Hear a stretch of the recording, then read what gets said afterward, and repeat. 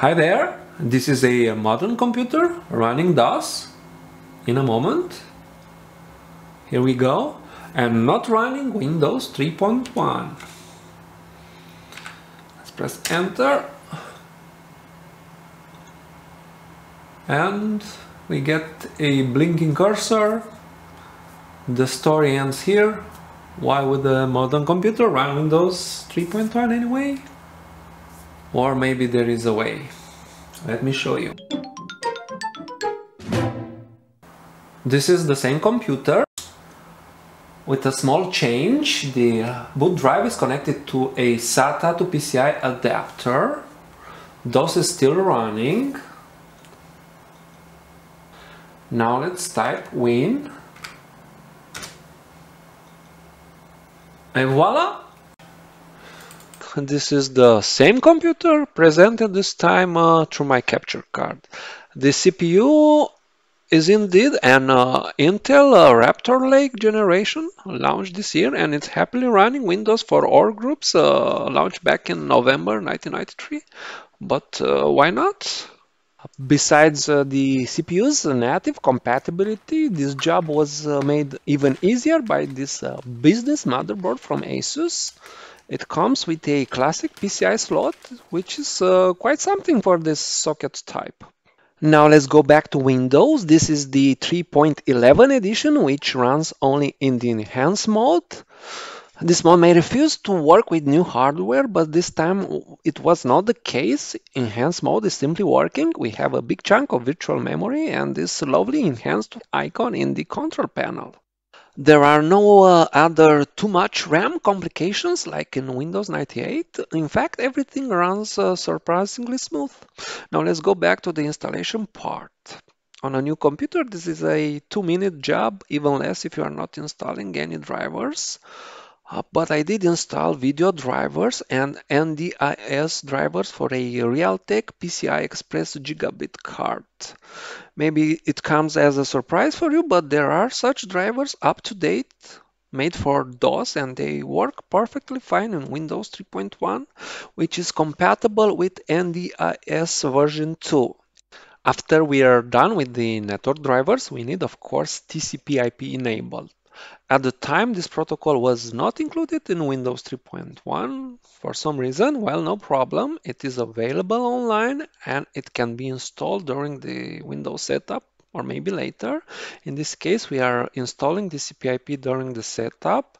Then we enable DHCP and believe it or not, we are ready to go online. No need to mess with IPs or gateways. DHCP protocol still can settle things with much newer network uh, equipment.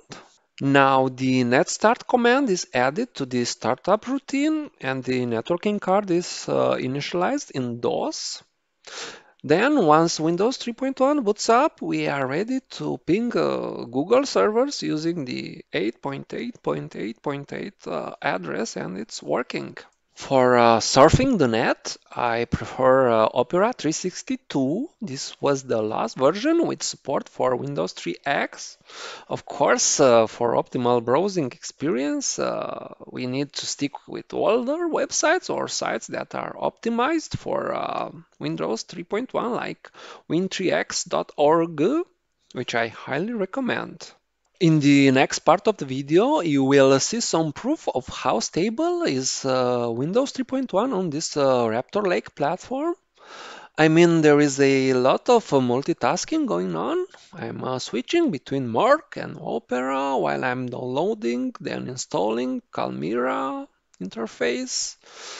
While uh, using a PCI Express gigabit card, there are two other PCI uh, cards that are using PCI Express to PCI uh, bridge chips. Uh, not to mention the whole uh, hardware setup with the CPU and RAM and everything else. So many things can go wrong, but they don't. Um, you have to take my word. This footage obviously is edited but it was shot in one single take and uh, not a single error occurred while uh, during the setup or while I installed the drivers or uh, I went online. This is way better than I expected. Well, uh, I had to install Calmira. This is a very popular interface for Windows 3. Uh, basically, it can make Windows 3 look like Windows 95, which has a much better interface with uh, much more functionality. We can't argue with that, uh, but in the end, I still prefer the classic Windows 3 look when I'm using Windows 3. Maybe that's why I'm using it. It looks like I can't make a Windows 3 video without mIRC. Maybe because mIRC has basically not changed in all these years and you still can have a full experience even when using the 16-bit edition. Now uh, let me install Microsoft Encarta 94 just to add more complexity to our multitasking setup. Total Commander, Opera and mIRC are still running in the background. There were uh, no out-of-memory errors so far, uh, since we have uh, 256 megs of physical memory, plus access to virtual memory. Well, we shouldn't run out of memory, but uh, believe me, it's all relative when uh, using this modern uh, hardware and Windows 3.1. For example, uh, hardware info programs like WinSleuth are getting easily confused about total memory available. In the past, I ran many times into out of memory errors. But on this Raptor Lake uh, platform, so far so good. Now uh, in the end, uh, let's talk about sound and Windows 3.1. Getting sound in Windows 3.1 is quite tricky since there are not uh, many sound cards that can do the job in a modern computer where there is no PCI support at the chipset level. In fact, uh, I know only one PCI sound card that will install in Windows 3.1. Uh, we're talking about Ensoniq Audio PCI using the ES 1370 chip. Uh, soon after, Ensoniq uh, released uh, this card. They were bought by Creative Labs, which released many sound cards using basically the Ensoniq chip.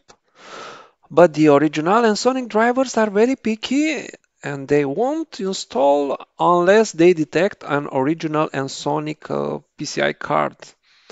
There are uh, some third-party drivers for uh, creative cards and for some onboard codecs. Uh, I'll put a link into the description if you want to check them out. The setup will also install uh, the DOS drivers. They don't work, so you have to edit the AutoExec file and remove any reference to them.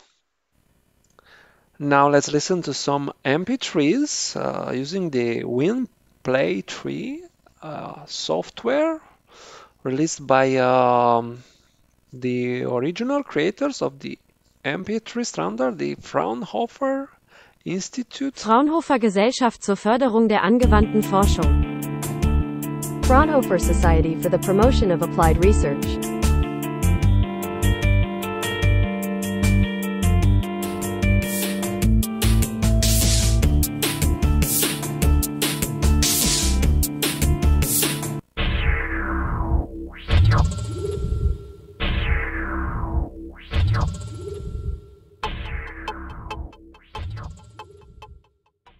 In the end, uh, let's uh, check out how MIDI works. Inside Windows folder, we can find the Epic Canyon MID. Well, it works perfectly fine. Thanks for watching. Uh, see you next time. Bye.